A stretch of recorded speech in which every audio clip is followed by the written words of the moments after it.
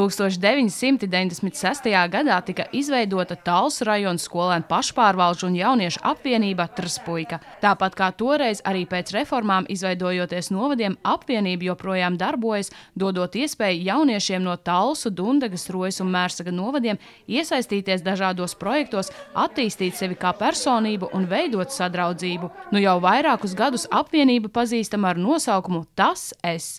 Līva Maķa ir Tauls novada bērnu un jauniešu centra jaunatnes lietu speciāliste, un viņa ir atbildīga par to, kas notiek jauniešu apvienībā. To četru gadu laikā, kopš Līva strādā ar novada jauniešiem, izdarīts ļoti daudz. Tas radās kādā vasaras akadēmijā, kad jaunieši viņiem ir dažādas apmācības un dažādas trīs dienu semināri. Tā, to semināru laikā arī radās šis nosaukums.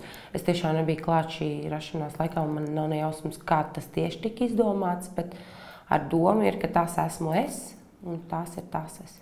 Mm -hmm. ko tad dara tas es? Tas es dara daudz ko. Bet uh, vislielākais viņiem šis, uh, šī, šī darbošanās ir tieši organizēt šo jauniešu dienu. Ir arī šī pieredze apmaiņa starp visām pašpārvaldēm un starp jauniešu organizācijām.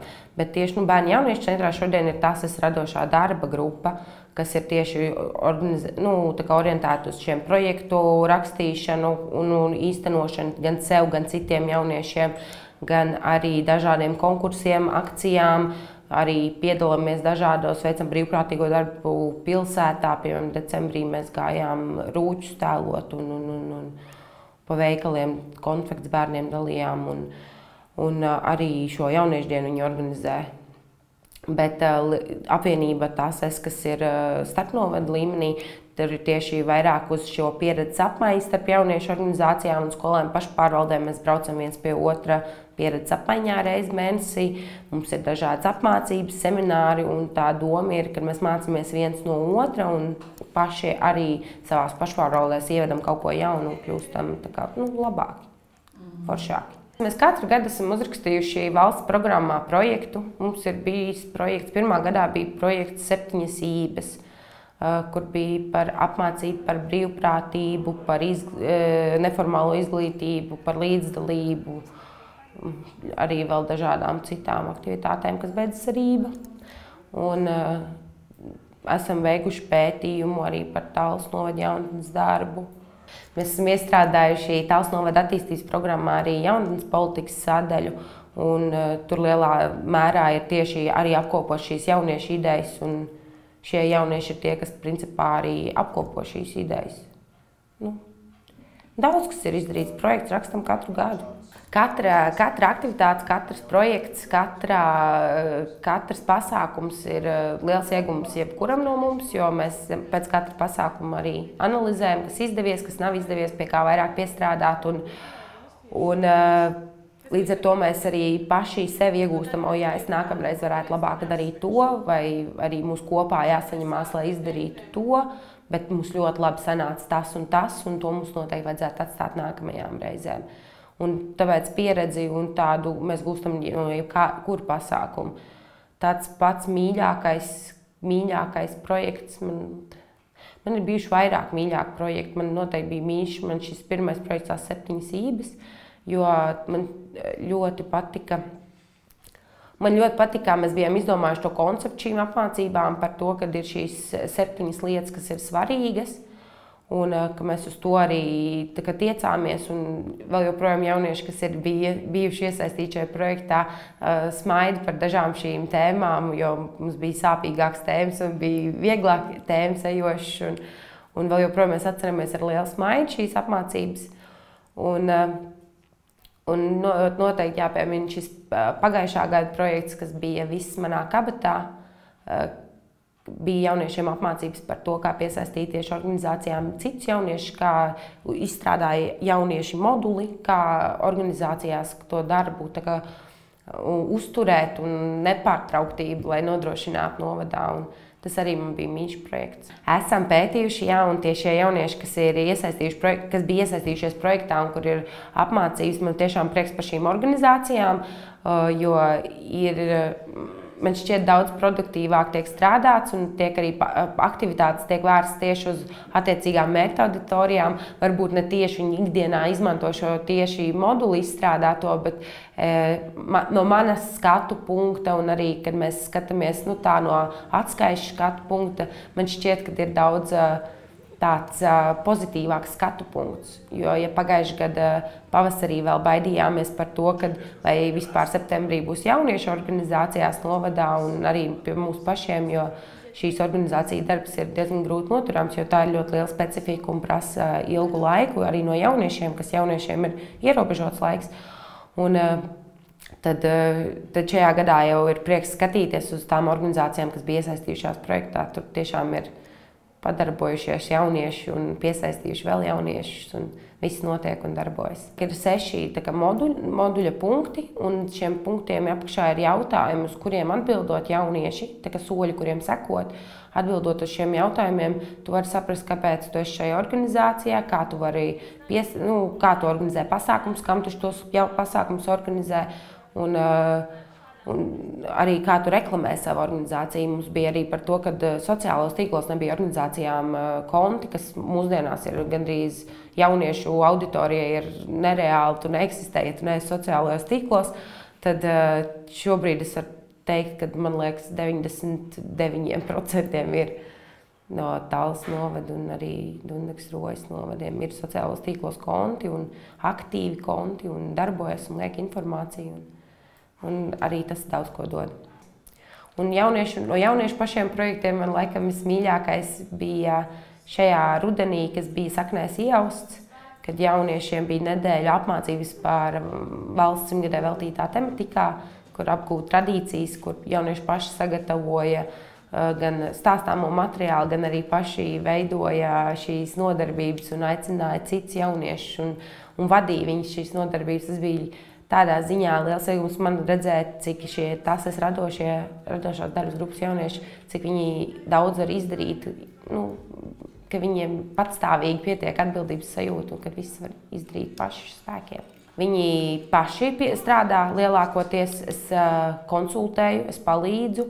Es, ja vajag arī, protams, pal, palīdzu vairāk, bet principā mums ir tāda vienošanās, ka, ja viņi nāk tās ir radošajā darba grupā tieši strādāt, tad viņu uzdevums ir saprast, ka viņi to grib darīt. Un, ja viņi grib to darīt, tad viņiem kaut vai ir sakostiem zobiem, bet, ja viņi ir uzņēmušies, ir jāiziet cauri un ir tas jāsaprot. Nu, jāiemācās kaut kas no tā. Kā Līva jau minēja, ļoti daudz kas ir atkarīgs no pašiem jauniešiem. Gan projektu tapšana, gan pasākumu organizēšana. Samanta Zoniņa ir tases prezidente un apvienībā iestājās intereses pēc. Bija tā, ka um, mēs ar draugu bijām aizgājuši, tas jau bija pirms tiem četriem gadiem, mēs bijām aizgājuši uz uh, vienu jauniešu dienu. Mēs domājam, ka diezgan interesanti īstenībā. Un tad mēs domājam, labi, nākošais gads iesim uz tasēm, iestāsimies. Un tad mēs tajā pirmajā sēdē atnācām, mēs saņēmāmies, atnācām. Tad mums likās tā, nu, tā, nu, tā dīvaini, jo tad arī, nu, tad bija iepriekšējā paudze, kur mēs nomainījām. Un tad likās tā dīvaini, un tā, un tā, bet beigās mēs kaut kā iedzīvojāmies, un tā arī palikām. Bet tā ideja bija tāda, jā, praktiski, kad Davai, ejam, būs forši. Un tad arī bija tas, ka man draudzene bija beigusi mākslas skolu. Tad, davai, nu, viņi man arī bieži nu, vilka līdzi, un viņi tādi teica, davai, ir kaut kas jādara. Es pabeidzu mākslas skolu, man tagad es nedrīkst sēdēt vienkārši uz vietas. Tad uh, viņi man pavilka līdzi, un mēs atnācām. Jā. Tā ir ģimene, man liekas. tā vienkārši ir ģimene. Jo uh, mēs tas sēdēs, uh, mēs, um, mēs tiešām runājam par visu. Tā, es arī jūtos pati brīvi. Es nezinu, varbūt kādam jauniņiem varbūt ir savādāk. Bet, Jo es arī kādreiz biju jauniņā, un man tad likās, varbūt nedaudz tā gaisotne, tāda piespiestāk, un es nejūtos varbūt tik brīvi. Bet tad, tagad, kad ir, es esmu iedzīvojusies, visi ir iedzīvojušies, un tagad liekas tā brīvi. Mēs tiešām tā kā ģimene, mēs runājam par visu, un mēs arī esam visas meitenes ganīs. Un tad sanāk tā, ka mēs bieži vien runājam arī par visādām meiteņu problēmām, un tad dažreiz novirzamies no tēmas un runājam par meiteņu problēmām. Bet jā, mēs, mēs tiešām esam ģimene labākie draugi, var teikt, un var stāstīt problēmas. Tas viss nu, ir forši. Nu, kā, Kad tu nāc, tu zini, oh, tas, tas, jā. tas man ir padarījis pirmkārt gudru, Otrakārt, arī pašpārliecinātāk par sevi un vēl arī drosmīgāk. Jo kādreiz man bija tā, ka es biju ļoti, ļoti kautrīga. Es, nevarēju, es pat saviem dažiem radiem nevarēju pateikt, tur čau vai sveiki, vai es nevarēju pazvanīt, vai kā. Man, man uzreiz rokas trīcē, un es nevarēju. Tagad es varu, es varu mierīgi brīvi runāt. Es varu arī, nu, piemēram, aiziet uz domu un brīvi runāt. Nu, man vairs nav tā. tā kā viens ir, es esmu drosmīgāk, un arī tas, ka es esmu. Uh, nu, Es esmu bijusi uz ļoti daudziem semināriem, apmācībām un tā tālāk. Un ir ļoti daudz neformālās izglītības iegūtas, kas man ļoti daudz palīdz gan skolā, gan nu, tur ir arī iegūtās zināšanas kā par eh, pašpārliecinātību, par līderismu, arī kā prezentēt sevi un arī vispār kā uzstāties publikā. Nu, tā pieņemsim, tikpat kā skolā, kad ir jāprezentē kaut kādas prezentācijas, tas ļoti daudz ir palīdzējis. Jo nu, es jūtos tādā pašpārliecinātāk par sevi, ko tas man viss ir iemācījis. Un arī tas, ka es vairāk zinu. Jo, jo tad, kad kaut ko par kaut ko stāsti, tad pašam jāpārzina tas. Ļoti daudz kas arī ir iegūts šajā visā ceļā. Esot tasēs, ir ļoti daudz, kur būs, daudz kas iepazīts, ir arī vairākas nu, tādas paziņas iegūtas no visas Latvijas. Es zinu, ka tas, piemēram, var aizbraukt uz Dobeli, man tur būs paziņa un vēl uz vairākām pilsētām. Un, būs kāds kontakts, ar ko sazināties. Un, jā, un ir forši. Arī ir izbraukts vairākas pilsētas. Mēs arī nesen bijām Madonā, kuras nekad mūžā nebija liekas, bijusi. bija kaut kas jauns. Visu laiku jau tas, tas ir ļoti daudzpusīgs. Arī mēs organizējam daudz pasākumus, ko es pirms tam nezināju, kā tas īsti ir. Nu, protams, ir uzorganizēt dzimšanas dienas ballīti mājās. Nu, tas nebija. Tad man liekas, ka forši man tas patīk darīt. Un, bet, kad atnāk uz tasēm, tas ir pilnīgi citā līmenī. Un, Jā, un es arī pati esmu rakstījis projekts, kas ir kaut kas, kas, kas bija pilnīgi jauns priekš manis. Es jau divus uzrakstījis. Es pēc pirmā teicu, ka es nerakstīšu, ne, nerakstīšu vairs nemūžu nevienu projektu, bet es pagājušajā gadā uzrakstīju. bet jā, un tad es esmu to iemācījusies darīt, kas es domāju, ka man noteikti dzīvē noderēs rakstīt to visu. Pirmais projekts bija pārgājiens. Mēs gājām ja nemaldos, 52 km ar kājām divās dienās, kas bija diezgan traki. Ja mēs gājām no Talsiem uz Valdemāra pili. Tur mēs bijām gar pludmali, atpūtāmies, un tad mēs gājām uz Laumas dabas parku, kur mēs palikām par nakti, un otrajā dienā gājām mājās. Tas bija diezgan traki. jo mēs, mums visiem sāpēja briesmīgi kājas. Es beigās domāju, ka nevajadzēja tik tālu iet. Bet tā bija dzīves pieredze. Tas viss ir dzīves pieredze. Un uh, projekts, ko es pagājušajā gadā rakstīju, bija Saknēs iausts, kur bija, viņš skaitījās pat nemāku īsti nodefinēt, kā viņš skaitījās, bet tā, tā bija nedēļa, kurā jā, jaunieši varēja izjust to pilsonisko līdzdalību un sajust to latvisko garu sevī, kas man likās tā ļoti interesanti. Jo mēs pa, kaut kad tasēs par to runājam, tad es domāju, kaut kā jau tā ideja jātīst. Ir. Pirmais, kurš sāka nākt uz tasēm, bija mans brālis. Un redzot tos uh, pasākumus, kurā, kuros viņš iesaistās, un skolēnu pašpārvalde arī, kas mums skolā darbojās, es sapratu, ka uh, tas man arī varētu interesēt. Uh, Un mēs arī bijām projekta nedēļā atnākuši uz BEC un mūs uh, iepazīstināja ar tāšu darbu. Un es sapratu, ka ir jāpamēģina. Un pēc nedēļas es jau biju šeit uz pirmo sēdi. Uh, pamēģināju, iepatikās, un tā jau bija arī mana pirmā jauniešu diena. Kā bija iejusties? Diezgan grūti sākumā bija tāds uztraukums, nebija bija sveši cilvēki, bet par cik tagad jau esam pa lielam vecākie. Un viss ir pierasts, un tu, tu zini, kā, kas ir jādara, kā ir jātaisa, piemēram, pateicības, kā ir jārīko, kā ir jāuzstājas, kā ir jārunā. Tu, tev vairāk nav tik ļoti jāuztraucās. Vispār tā ir otrā ģimene, bet uh, kas, tas, kas šeit notiek, tas ir kaut kas ļoti izglītojošs. Gan līderu prasmes, gan viss pārējais, ko mēs šeit iemācāmies, tā ir neformāla izglītība. Un tas ir ļoti noderīgi arī nākotnē, arī brīvprātīgais darbs un visu pasākumu vadīšana. Vispār tu vienkārši kļūsti drošāks priekš sevis un arī tavā skolā ir vieglāk. Vienmēr, kā es izvērtēju to, ko es vispār iemācos, ir pēc tā, ko es zināju un ko es zinu pēc apmācībām. Un ir vairākas lietas, ko es tiešām uzzināju jaunu. Un arī tā pieredze, ko tev sniedz tie cilvēki, tie lektori, kas tev atbrauc un kaut ko paskaidro, tas, tas jau vien ir ieguvums. Šonadēļ tases jaunieši aktīvi gatavojas gada lielākajam notikumam jauniešu dienai, kas kopā pulcē aktīvos jauniešus ne tikai no kaimiņu novadiem, bet arī no tālākām Latvijas vietām. Pasākums tiek plānots visa gada garumā, meklējot tēmas un idejas, lai to padarītu jauniešiem interesantu un arī izglītojošu. Jauniešu diena tiek organizēta jau 15 gadus. Un, kā jau es minēju, to palīdz jauniešiem darīt, un bērnu jauniešu centram to darīt pēdējos četrus gadus. Jauniešu dienu organizē tieši jauniešu šī tās radošā darba grupa. Un sadarbībā ar Bērnu jauniešu centru un Tāls novada jaunas lietu konsultatīvo padomi. Un šajā dienā tas galvenais mērķis ir savstarpēji eh, kā, satikties, dalīties pieredzē, eh, tieši gūt šo neformālo izglītību un neformālo pieredzi, atpūsties arī kopā un eh, kā, sapazīties ar jauniešiem no citām organizācijām. Mums, or, mums notiek jau 15. gadu, un, un šogad arī piedalās 24 organizācijas.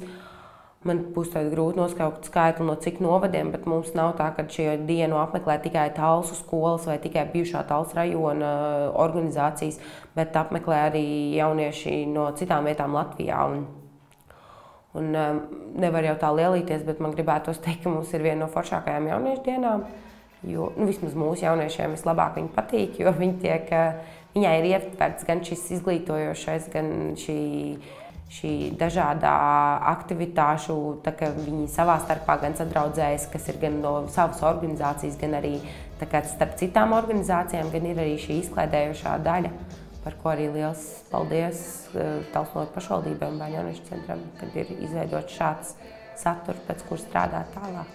Jo, ja būtu tikai pieņemsim šī izglītošā daļa, jauniešiem varētu ātri apnikt, bet tā kā tu, tu pa dienu pastrādā, tu tā kā izveido aktivitātes citiem, vai iejūties tur kādā tēlā un veic visus šos uzdevumus un sagatavo daudzos mājas darbus. Un, un atbrauc, un tu pastrādā, un tad vakarā, jā, vakarā tu pelnīsi šo brīnišķīgo atpūtu kopā ar māksliniekiem, ar diskotēku un, un pavadīt laiku kopā ar citiem jauniešiem. Jo nu, arī aptaujās, ko mēs veicam, diezgan regulāri ātrās aptaujas veicam novadā starp, nu, starp skolēniem un, un, un arī citiem jauniešiem. Tad uh, viena no problēmām šobrīd novadā ir tā, ka nu, jauniešu acīs problēma novadā ir tā, ka ir maz pasākumu, kas ir domāti tieši jauniešiem. Tieši vecumā no 13 līdz 18 gadiem un arī nu, tādiem bišķiņu lielākiem. Bet, uh, kad ir maz šo pasākumu, tad šis pasākums tiek gaidīts un, un, un, un it īpaši tas ir paši jaunieši organizēts. Viņi nestrādā vienu nakti gadā, viņi strādā vairākas naktis gadā ir viena naktis, kad tiek eh, izdomāta tēma un sastādīta nolikuma galvenie punkti. Un kad, eh, tā lai var jau kaut kādas informāciju palaist apritē. Un, un, kad tas ir izdarīts, tad paiet kāds laiks, un mēs atkal paliekam pa nakti. Mēs domājam jau citas aktivitātes, un domājam jau papildus visādas mm, punktus pēc nolikuma, kā mums ir izdomāts. Un, Un ļoti grūti vienmēr iet izdomāt ar ģērbšanās stiliem vai tēmām, jo tam ir jābūt interesantam. Un 15 gadus, ja tev pasākums ir noticis, tad ir grūti atrast kaut ko jaunu un oriģinālu. Un negribās arī neko, kas jau ir bijis, kā jau jaunieši ir izauguši un varētu jau atkārtot, bet gribās vienmēr kaut ko tādu interesantu izdomāt. Un tas ir ļoti grūti, arī tur arī paiet daudz laiks.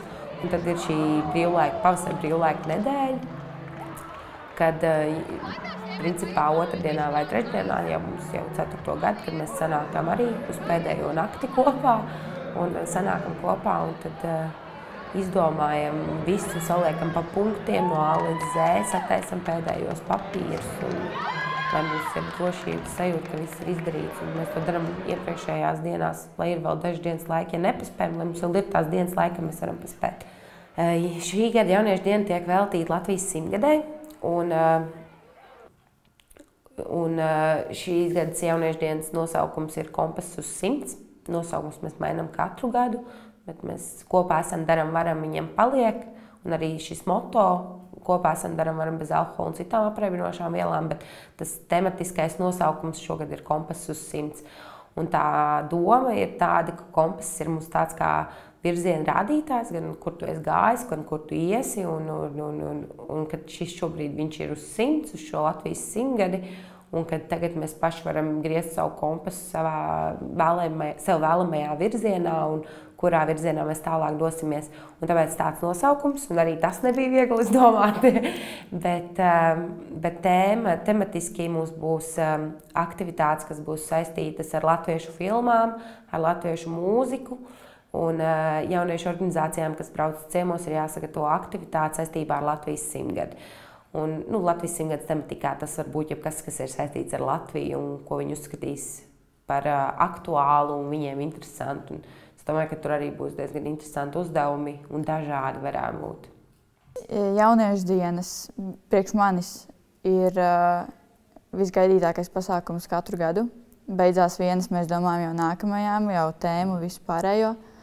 Pats galvenais ir tie cilvēki, kas ierodās, visi tie pozitīvie jaunieši, tā atmosfēra, tā, vakarā, tā, kad tev pa dienu ir ļoti saspringts, viss, tu centies visu paspēt izdarīt, un vēl pēc tam tā, lai arī citiem patīk, ne tikai pašiem.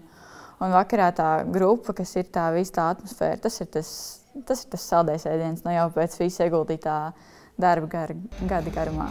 Lai gan daļa šī brīža tašu jaunieši pēc gada dodas lielajā pasaulē, viņi atzīst, ka arī tad atgriezīsies, lai palīdzētu organizēt jauniešu dienu un ir gatavi iesaistīties vēl citos projektos, bet līdz tam ir vēl idejas, ko realizēt. Viena lieta, ko es gribētu noteikti, ir uztaisīt tas salidojumu, kur visas vecās tases un krūzes sanāk kopā, jo nu, tā kā katra ir tās vairākas paudzes, kas nomainās, un būtu interesanti nu, apmainīties ar domām, kādas viņu tur pasākums bija un kas, nu, tās idejas apmainīt. Jo tomēr tas, ko sniedz tie, tie iepriekšējie tas biedri, viņi, kā, es domāju, iedvesmot mūs varbūt uz kaut kādiem jauniem pasākumiem. Un, Tā, tas būtu viennozīmīgi interesanti arī paskatīties, ko tie cilvēki pieņemsim. Es arī esmu ļoti daudz ko ieguvusi, darbojoties tasēs, un kā, tie cilvēki arī daudz ko ieguvuši un ko viņi tālāk ir sasnieguši ar savām zināšanām. Jo es zinu, pieņemsim, ir tā, taši cilvēki, kas tagad arī nu, viņi nebaidās. Noteikti tie nebūs cilvēki, kas baidīsies un sēdēs malā. Viņi ir uh, par sevi pastāv, viņi ir aktīvi noteikti darbojušies, un uh, viņi ir ļoti pašpārliecināti, un ko viņi dzīvē sasnieguši. Tas būtu arī interesanti paskatīties. Un arī uh, iepriekšējos tās, to, uh, tos cilvēkus, kas tos tas ir koordinējis. Jaunas lietas speciālistus, jā, arī paskatīt, pasaukt kā, uz salidojumu. Bez jaunas lietas speciālistus mēs arī nekas nebūtu. Kā, mēs viņus visus arī sasaukt. Tas būtu kaut kas ļoti interesants un tāds īpašs. Es zinu, ka ir bijuši kā, iepriekšējiem, es tā teiktu, paudzēm, ka viņi paši savā starpā satiekās. Bet būtu interesanti, ja mēs visi esam tādi, un pēc iespējas, ilgā laikā tie cilvēki satiktos kopā. Es domāju, daudz arī gan jau ir ārzemēs vai kur, bet tas būtu kaut kas interesants. Man šķiet, ka pēdējos gados mēs kopā ar jauniešiem esam izdarījuši labu darbu tieši ar šiem daudzajiem, projekt, nu, daudzajiem projektiem, nosacīt. ar projektiem, ar aktivitātēm, ar pasākumiem. Mēs katru gadu izvirzām vienu šo mazo mērķīti, ko atdzīvināt jauniešos, nu, ne gluži atdzīvināt, bet ko aktivizēt, kam pievērst vairāk uzmanību. Un, uh, tad ar šiem mazajiem mērķīšiem, it kā viņi nekur nav pierakstīti, bet mēs viņus savā prātā uzturam.